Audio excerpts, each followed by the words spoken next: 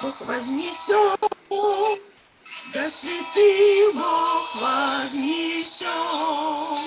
Господь дождь звезды, когда святый Бог вознесет. Я буду петь, петь, петь, славить Христа, славить Христа. Я буду петь, петь Христа, Господа. Он небесные врата распахнул на радость нам. Я буду петь, славить Христа, Господа. Святый Бог вознесет, когда святый Бог вознесет. Господь хочу я быть в числе их, когда святых Бог вознесет. Я буду петь, петь, петь, славить Христа, славить Христа. Я буду петь, славить Христа, Господа. Он небесные врата распахнул на радость нам. Я буду петь, славить Христа, Господа. Христа, Господа. Аминь. Аминь. Аминь. Как здорово, что мы, что Господь э, вознесет своих, своих святых. Слава Богу. Слава тебе, Господь. Хватит пока. Спасибо, Господь, за это прославление, что ты живой, что ты нас так наполняешь. Аллилуйя. Аллилуйя. Слава тебе, Господь. Слава тебе. Ты сказал, кротких научаешь путям своим. Ты научаешь путям своих кротких. кротких.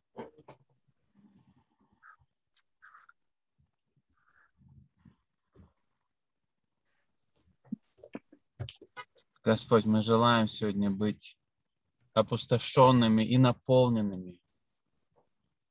Опустошенными и наполненными. Опустошенными от себя и наполненными Тобою. Спасибо. Ты сказал, что откройте, откройте уста, и я наполню их.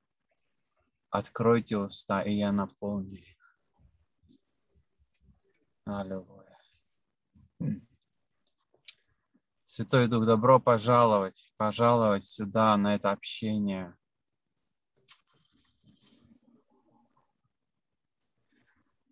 Ты сказал, что где двое или трое собраны во имя Мое, там я посреди них. И если о чем согласятся просить Отца по воле Его, то будет дано им.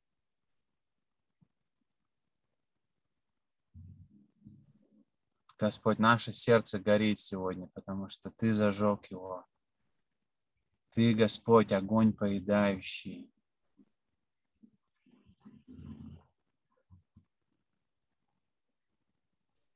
Аллилуйя, слава Тебе, поклоняемся Тебе.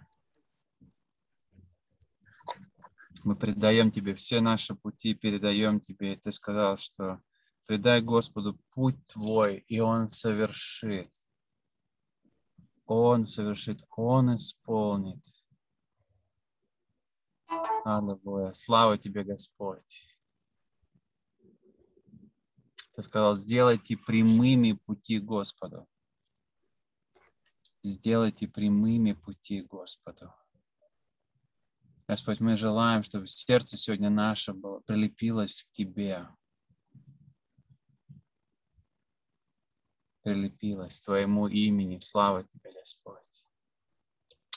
Мы молим Тебя сегодня друг за друга, за, за, за наши, Господь, умы и дух, дух наш, чтобы мы были сегодня едины, чтобы это общение было для Тебя жертвой благоугодной, чтобы жертва хвалы для Тебя была благоугодной, Господь.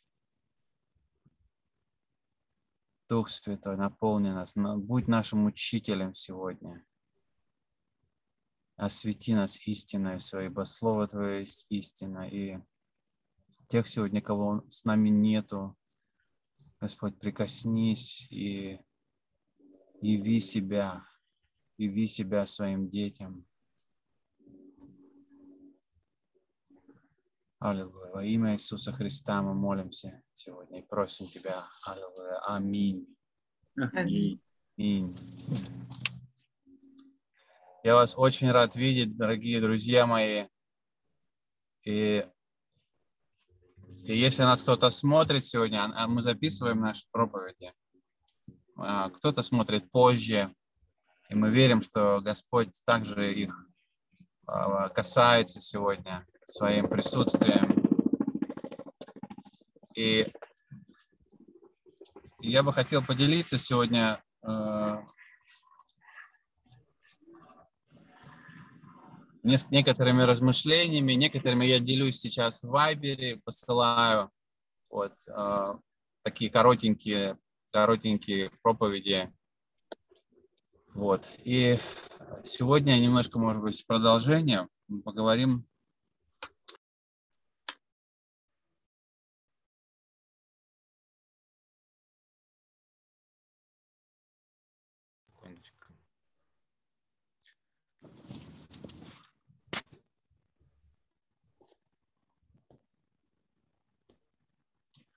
Помните, да, Иисус, э, когда учил, он учил очень много притчами.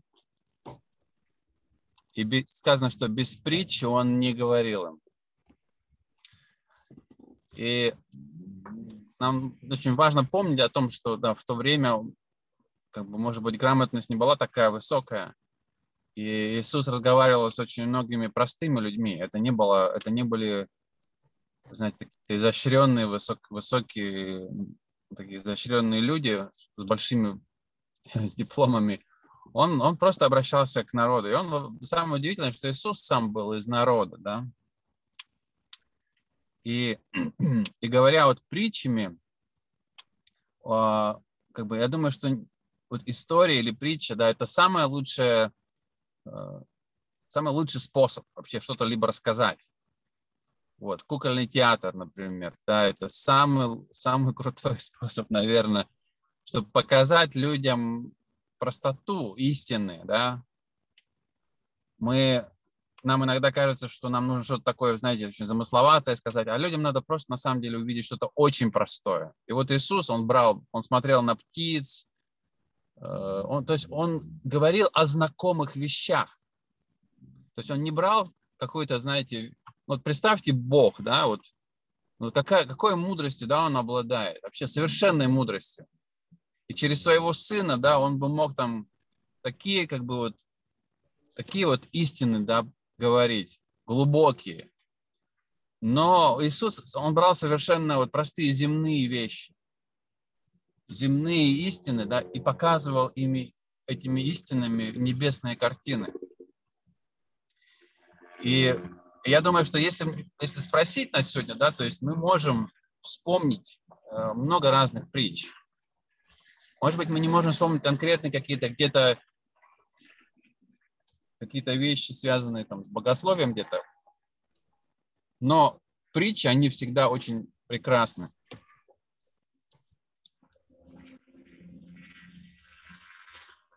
И, и, нас Господь очень учит здорово, да, через, э, через нашу собственную жизнь. Вся наша жизнь, я считаю, это притча.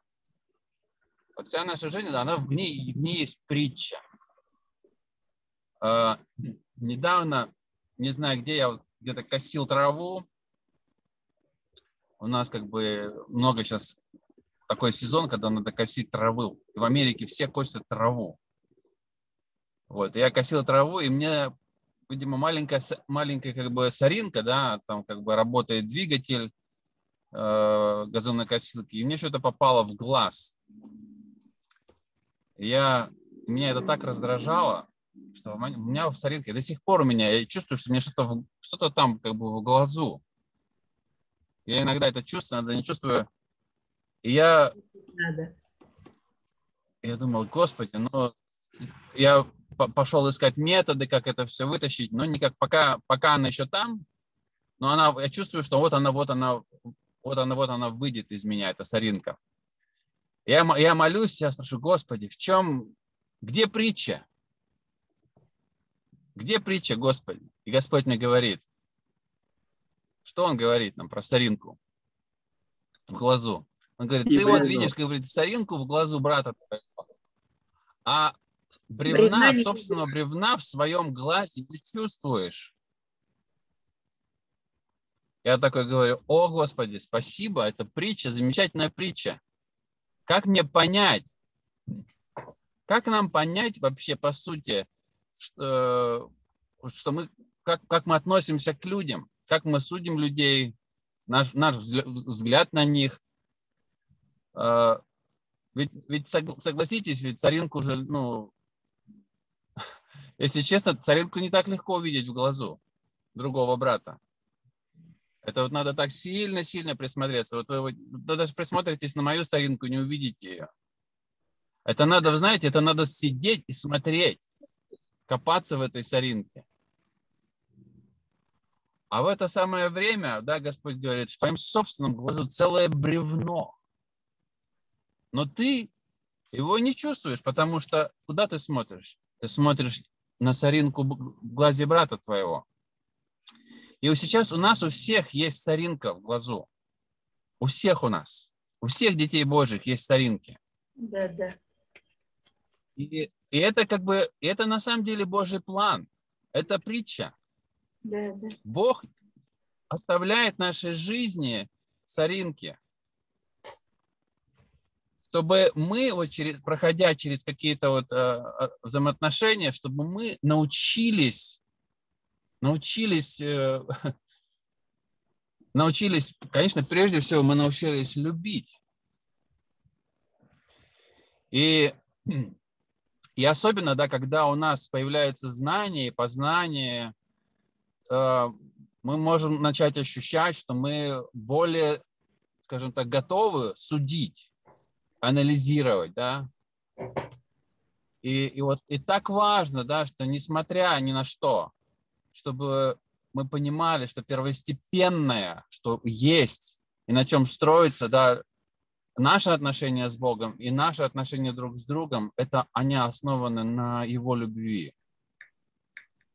Потому что без любви, Павел написал, 1 Коринфянам 13 глава, без любви все ничто.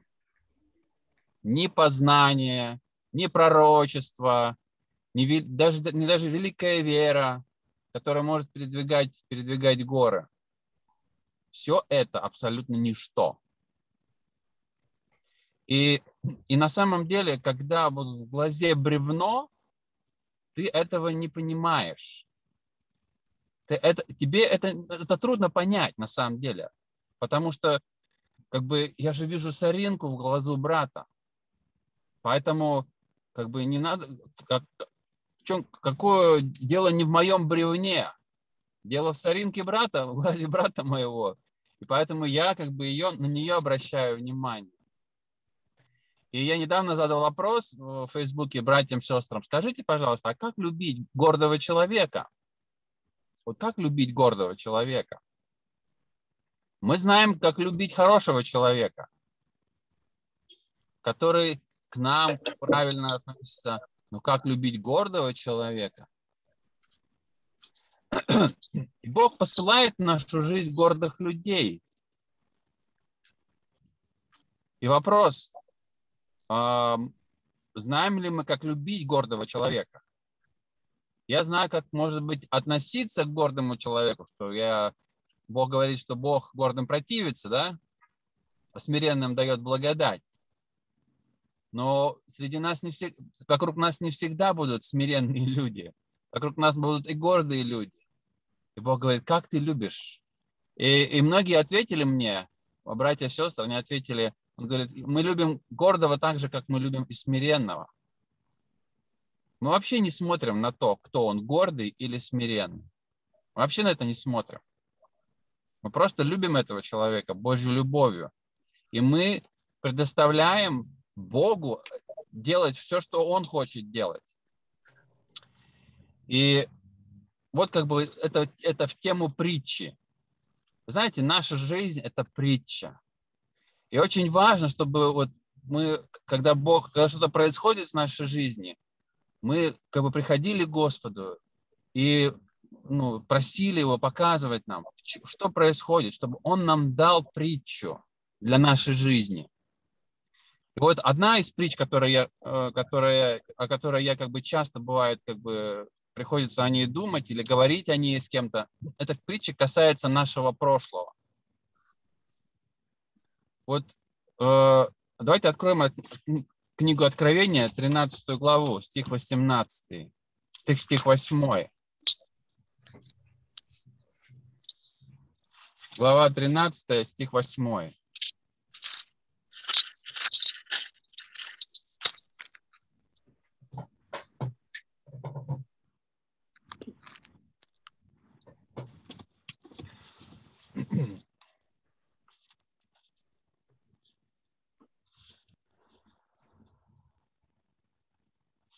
Здесь говорится, и поклонятся ему все живущие на земле, говоря об, о звере, которых имена не записаны в книге жизни у Агнца, закланного от создания мира. Кто имеет ухо, да слышит.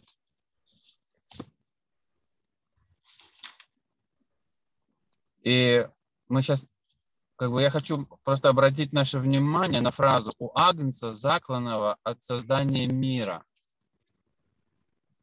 Здесь Иоанн говорит, что Агнец, Иисус, был заклан еще до того, как мир был создан. Что это значит? Где Он и где мы? И вот как вообще, как эта истина вообще, как, как, ее, как, как ее вообще понять? Потому что по, по истории Иисус был заклан недалеко, где сейчас Лев Исакович, в земле Израиля. Правильно? На горе, Гол... на, на этом самом, на холме Голгофском. Да, и там могила есть, которая пуста.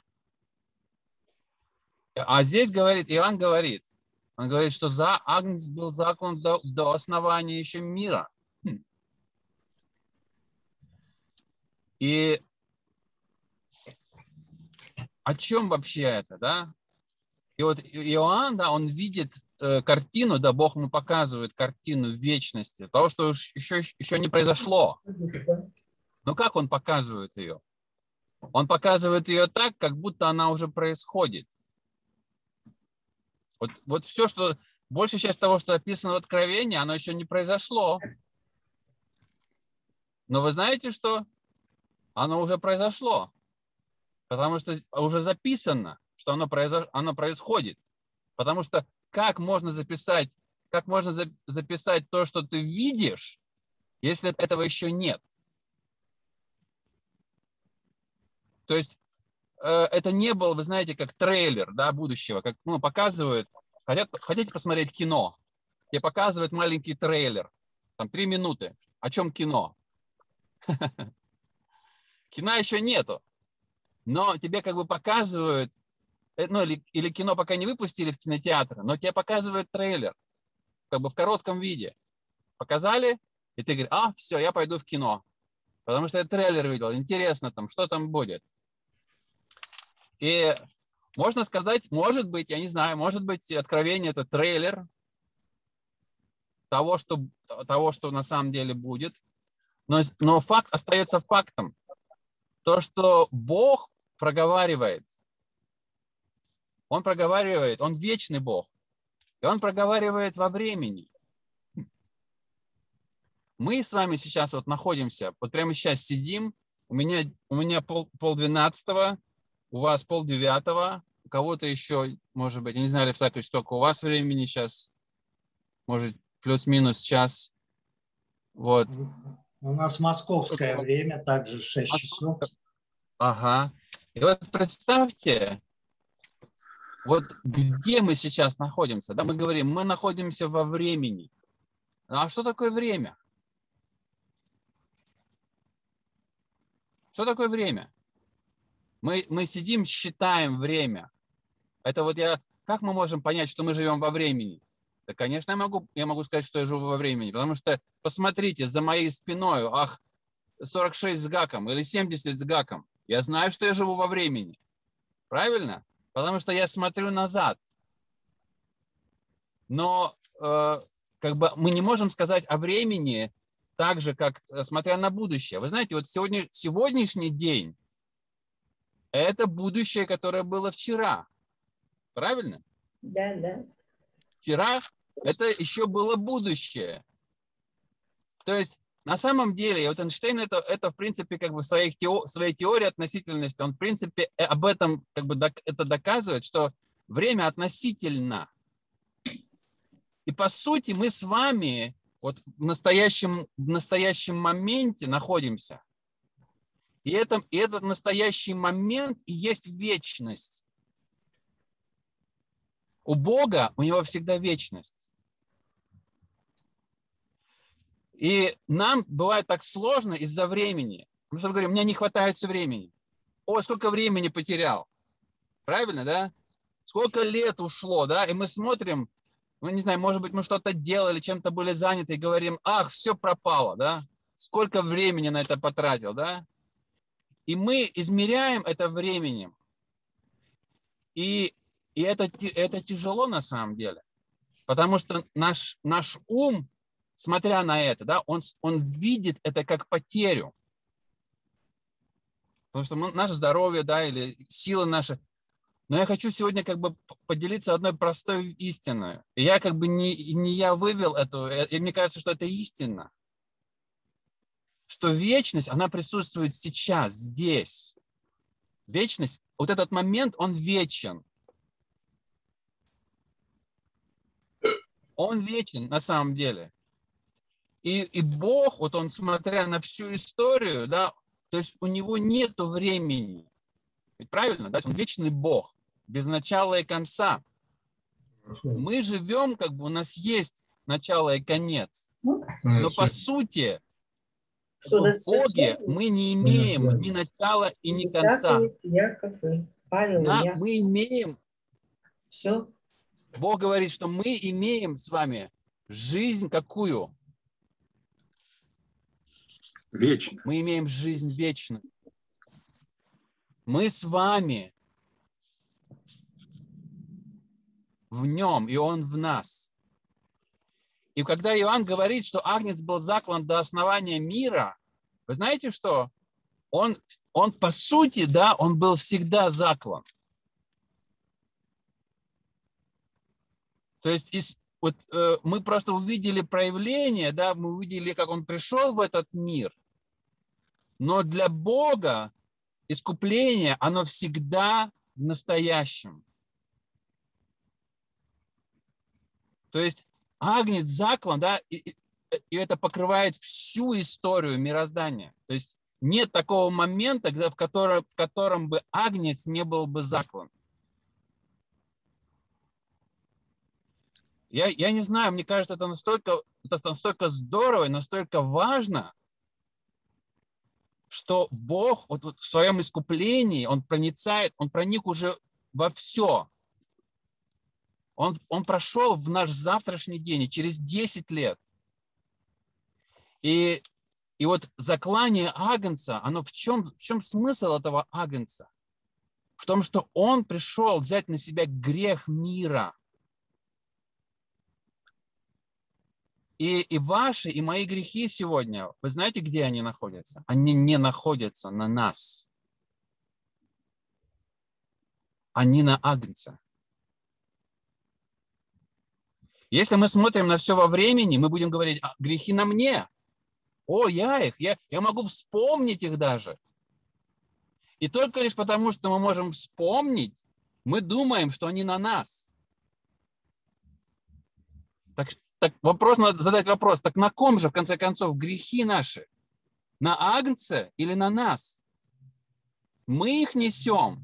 Или, или Агнец, закланный еще до основания мира, он их понес и несет, и всегда будет нести? Кровь Иисуса Христа, сказано, очищает нас от всякого греха. То есть, то есть те грехи, которые даже мы не совершили еще, она очищает и от этого греха. Это ни, ни в коем случае это не является разрешением на грех. Я считаю, что это, это является для нас разрешением на, на смирение и на удивление о том, как благ наш Бог, что он, он смог вот все грехи вот этого мира, в котором, вокруг которого мы живем, что он, он, он уже их еще до основания мира, он уже за, он, их, он их забрал на себя и примирил с собой мир. И вот почему в заключение 2 Коринфянам 5 глава, стих 17 сказано. Итак, кто во Христе, тот новая тварь. Хм. Древнее прошло, теперь все новое. Аминь. Теперь, сейчас, другими словами, вот в этот момент все новое. Оно сейчас новое и всегда новое, и всегда будет новым. Потому что это вечное новое. Это Божье новое. И вот слово, которое употребляет здесь Дух Святой вот через апостола Павла, это то, что мы с вами новый род. Мы новое творение, то есть творение, которого никогда еще не было.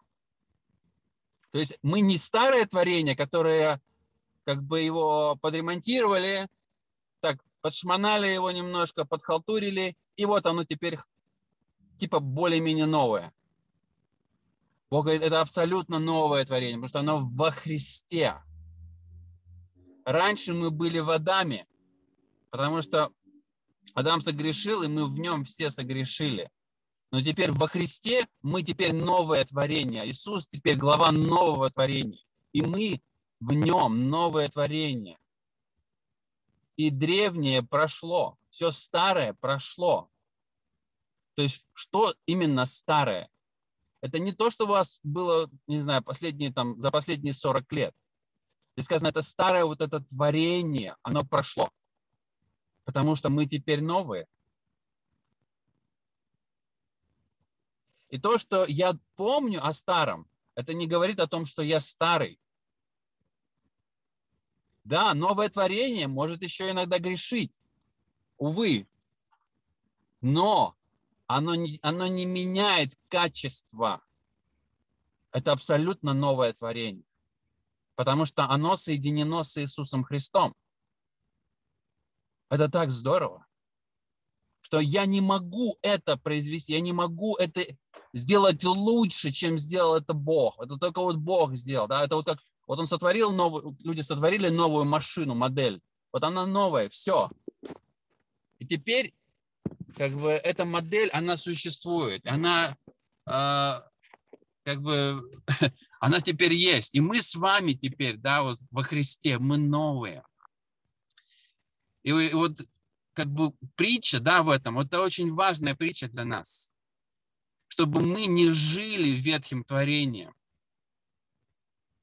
чтобы мы не лезли в ветхое творение. Это, и, и вот я ехал, ехал сегодня, у нас э, здесь в Балтиморе, э, ну, практически у каждой старой церкви есть, есть кладбище.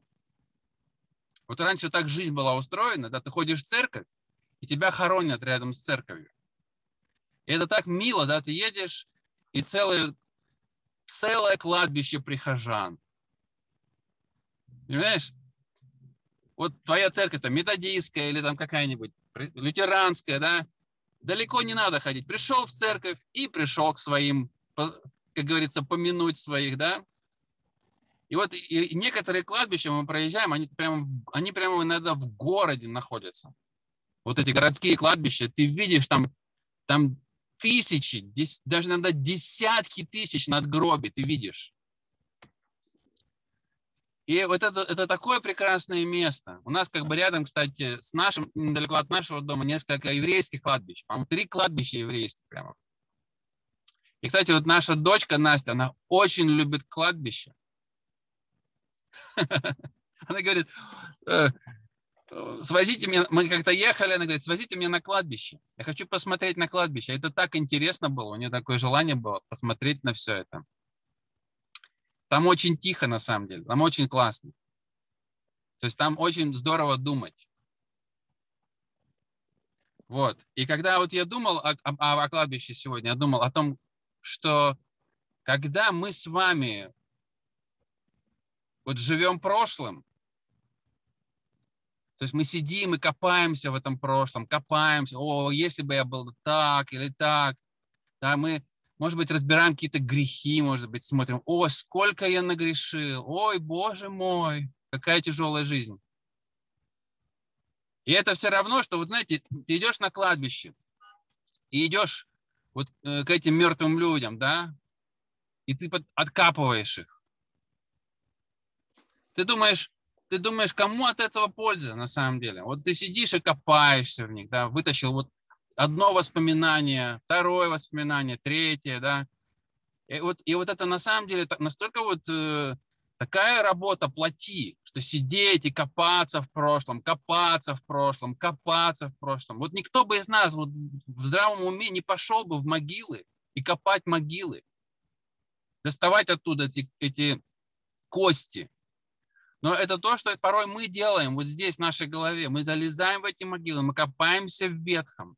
И мы думаем, что от этого Богу, от этого как-то приятно, что мы себя сидим, и мы себя э, э, бичуем себя, да, Вот самоанализ – это очень, очень, я считаю, что это одна из самых деструктивных вещей, с которыми мы можем с собой, с собой делать. Это, это такая деструктивная вещь – самоанализ. Сидишь, анализируешь себя и думаешь, знаете, вот что очень здорово анализировать – это новое творение. Очень здорово анализировать Агнца Божьего. Анализировать многие грани благодати. Вот это здорово анализировать анализировать служение Бога, наше служение. Вот это здорово анализировать. Но наши грехи, Бог говорит, ваши грехи, на, они, они, они были закланы на агнце. Это моя работа. Это вот, и только дьяволу, да, вот ему только выгодно копать, копаться в нашем прошлом, держать нас вот на привязи нашего прошлого и думать, что это как-то угодно Богу жить вот в чувстве, да, сожаления, самобичевания. Если я вижу, что я новое творение, спасибо, Господи. Древнее, сказано, прошло. Оно прошло. И Бог его не помнит. Бог не знает меня. Бог не знает уже того человека. Он не знает того, кем, кем я был. Он знает только меня сейчас. Аллилуйя. Слава Богу. Поэтому будем жить вот, вот в вечном сейчас. Не под законом, а под благодатью сказано, да? Вот это и есть, да, это, это ответ, благодать, она, благодать, а, она дает нам освобождение от этого бремени, того, что мне надо себя изменить, да, как-то, да, я могу себя изменить, да, нет, я могу, я могу прийти к нему, я могу сказать, помоги, помоги мне, да, мне нужна помощь. Но благодать, она именно дает нам такое дерзновение. Аллилуйя. Слава тебе, Господь. Аминь. Аминь.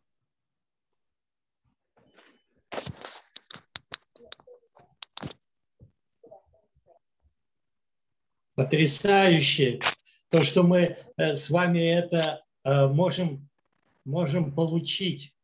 Вы знаете, когда с людьми разговариваешь, даже профессора не могут этого понять. А, я сейчас как раз с этим занимаюсь. Профессор, который хочет э, сделать в Ашкелоне музей современной цивилизации, мировой причем. И он не может понять, как это так все произошло, как это можно э, вначале сотворил Бог небо и землю, как это могло так вот взять и сотвориться. Это для него это невозможно. И мы знаем, что у Бога один день как тысячи лет. И мы, э, мы это знаем, а он это понять никак не может. Он, он историк, конкретик, и он говорит, ну как это так? Я говорю, так вот, все, посмотри, все, даже в Америке баксы зеленеют, потому что там написано, мы доверяем Богу.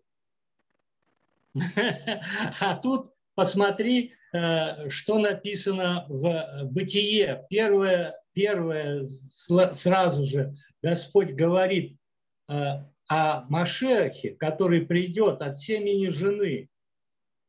И евреи все ждут Машеха, а мы его уже приняли 2000 лет назад.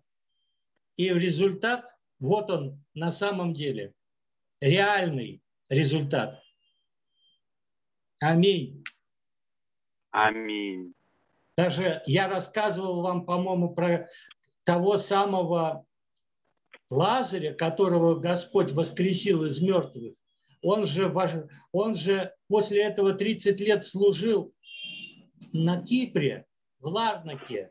И когда он он, который единственный из всего человечества был воскрешен, он пришел же, да, из, из смерти в жизнь обратно. Он видел, что такое человек глина. Он увидел человека там у себя, который украл глиняный горшок и расхохотался, что с ним никогда не бывало. И говорит, глина глину украла.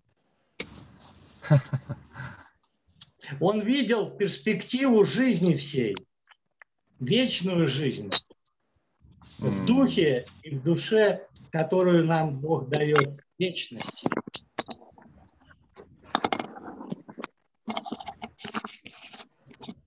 Аминь. Аминь.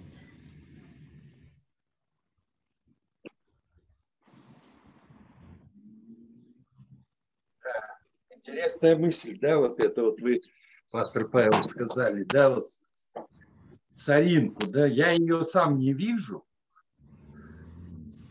я ее чувствую, что она есть. А некоторые ее видят. Это так удивительно видеть соринку в чужом глазу. Как это все происходит? Да? Вот мне, мне это абсолютно непонятно. Да? Что даже Бог отвечает, э, у тебя же бревно, ты его не видишь.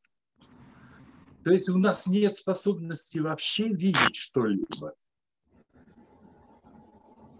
Мы все это можем видеть, да, все хорошее, самое лучшее, глазами веры. Если у меня есть проблема с верой, я, я не смогу ничего видеть. Я всегда буду медью звенящим, кимвалом звучащим, потому что у меня нет этой веры. Вера – это так необходимо. Это как, я не знаю, это то, без чего мы просто не можем быть. Мы, мы можем быть, но у нас не будет полноценной жизни без веры. Мы можем румянить глаза, эти щеки свои, да, глазки подводить, но от этого вера, она совершенно, да, не увеличивается. Могут появляться знания, да, знания, могут быть глубокие знания. И это как вот Лев Исаакович сказал об этом профессоре, он говорит, я не понимаю, и он искренен в том, что он говорит. Он действительно не понимает этого. Mm-hmm. Ну, потому что невозможно понять. Бог есть любовь. Любовь, она превосходит всякое понимание. И любое желание понять любовь, это всегда закончится тем, что ну, это будет фиаско. Человек все равно не будет понимать этого, как бы он ни хотел это, как бы он ни пытался да, быть очень умным. Он может даже вызубрить. Вот дьявол, он хорошо знает Писание, да? но он ничего не понимает. У него он, он потерянный, да, он самый несчастный. Он знает Писание вроде бы, казалось бы. И он при этом говорит, что я хочу, да, в сонме богов сидеть, да, я, я на вершине севера, да, я буду там, я... А мы с вами имеем это уже. И это мы имеем не потому, что мы знаем, а потому, что мы верим, да, что Бог нас оживотворил, Бог нас воскресил с Иисусом Христом, и Бог нас посадил. Поэтому, если я не верю в это, я не могу видеть. Я начинаю видеть после того, когда я начинаю верить. Какая вот зависимость, да, прямая. Вера, и я начинаю видеть глазами веры. Это удивительно, что нам Бог дал. И Он говорит, что вера от слышания слова моего. И мы можем всякий раз возрастать в этом, возрастать. М.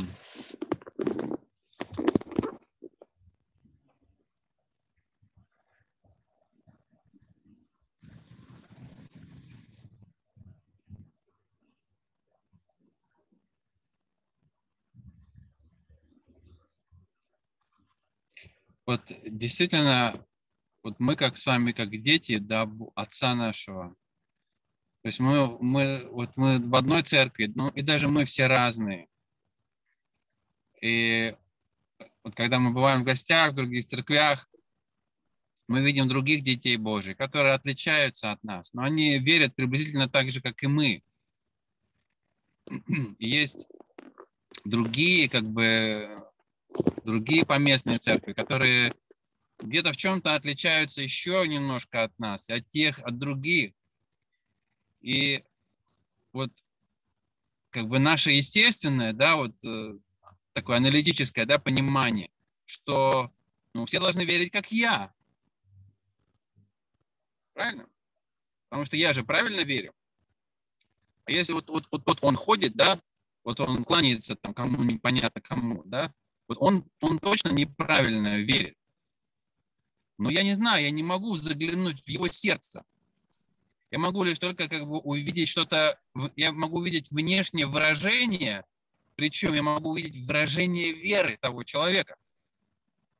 Вот тот человек, он идет, и он, мы не знаем, да, вот мы не знаем, чем он мотивирован всегда, почему он это делает. Да пошел он, поставил свечу, или пошел он к той иконе. Я думаю, что есть люди, которые это делают в абсолютном невежестве. Есть люди, которые вот это не, они не понимают, чего делают. Они, как, как вот эта самарянка, Иисус сказал, вы не знаете, чему вы кланяетесь.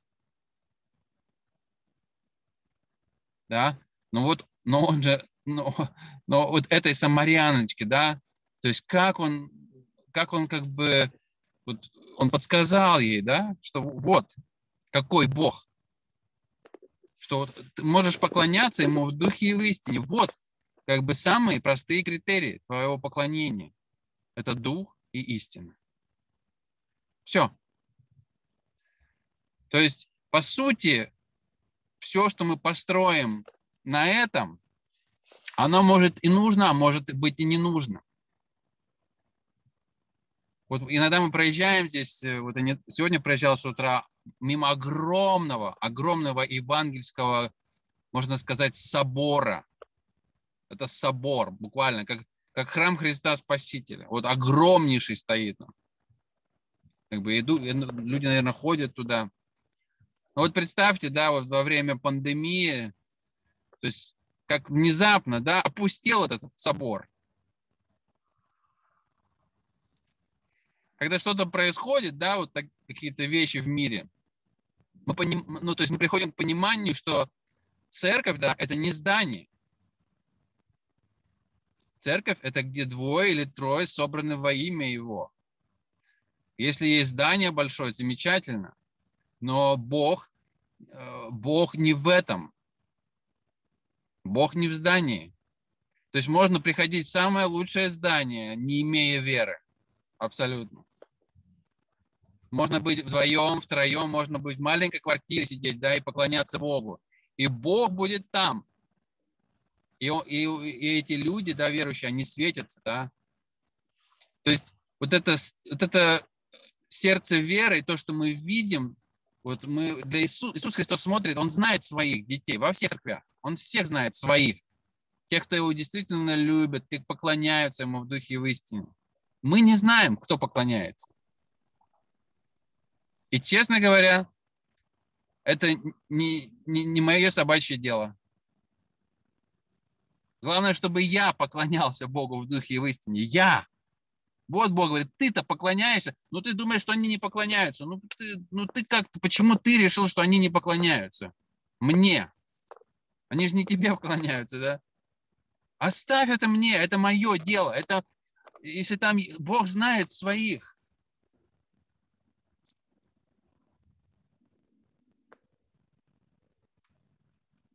Ведь так ведь, да? Вот у нас такая вот есть проблемка небольшая, кажется, да. Вот мы э, всегда пытаемся жить, да, точнее, вот когда мы представляем э, жизнь христианина, мы всегда можем э, думать так, что вот как я, что я делаю для Бога? Или второе, а как, какое у меня поведение, хорошее или плохое для Бога? Как он меня будет оценивать, да? Или я вот делаю же много, вот как вот, ну вот свечки, это же, ну что, надо же. И у меня сразу куча аргументов, оправдывающих мое действие, да. Так, и второе, да, мое поведение. Забывая о том, что Бог все соизмеряет другими стандартами.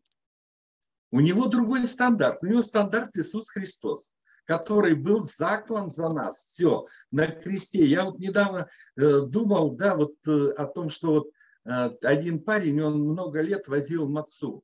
И я подумал, какая маца? Она же вся пронизана мелкими какими-то отверстиями, да? Маца, это как тело, да? Вот насколько гнев Божий пролился на Иисуса Христа, да? На человека, на этот грех, как Бог ненавидит этот грех, что Он даже не пощадил своего Сына Иисуса Христа. Он оставил. Он оставил. И я при этом все пытаюсь себя каким-то образом да, э, позицировать, да, э, показывать себя с лучшей стороны, да, или еще как-то. Вообще это так, так глупо иногда да, видеть себя желающим себя преподнести в лучшем свете, полагая, что Бог это оценит. В то время, когда Богу нужно совсем другое, Ему нужны наши внутренние перемены. Он, он делает все, чтобы поменять мой внутренний мир, чтобы наш вот этот э, новый человек, чтобы он возрастал, а старый при этом, да, чтобы он умолялся. Умолялся, то есть его не было вообще. Потому что он столько нам э, препятствий чинит, столько преград. И когда мы не размышляем, да, вот когда вот э, слава Богу э, за вас, да, пастор Павел, что вы вот так стабильно каждый четверг, да, вот выходите, и Бог имеет возможность, да, через вас сказать нам. И я вот такой ободренный тем, что я вот вышел сегодня. Потому что я вот здесь осуетился, то надо сделать, это нужно сделать, потом некоторые просьбы нужно выполнить. Что в конечном итоге я заметил, что я уже сколько четвергов я их вообще пропустил. Я не заметил, как время вот это пролетело, потому что эта динамика, она, знаете, я что-то делаю, я не замечаю, как пролетает время. Утром проснулся, тот позавтракал и бегом пошел. И вдруг, оказывается, ты уже пустой сосуд. Оказывается, пустой сосуд. Уже из тебя нич- ничто не выливается, потому что ты не заливал целых две недели. Ты не заливал, тебе нечего вылить. А я могу жить той мысли, да, вчерашней, что м-м, там я, о, я же библейский институт закончил.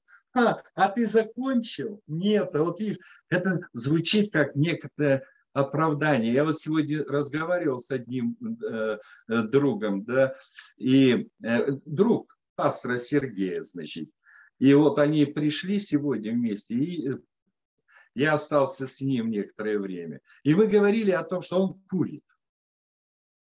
И когда он услышал то, что я говорю, ну, вообще-то это плохо, и ты можешь от этого избавиться. Если ты, конечно, обратишься к Иисусу Христу. И вы знаете, он начал аргументировать, и так хорошо, и в конечном итоге я услышал то, что он защищает свой порог.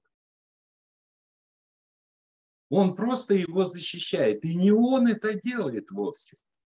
А это вот наша ветхая природа, да, мой ум, который может обвинять, который может оправдывать, да, он вдруг становится на позицию того, что совесть ему говорит, что ты делаешь неправильно.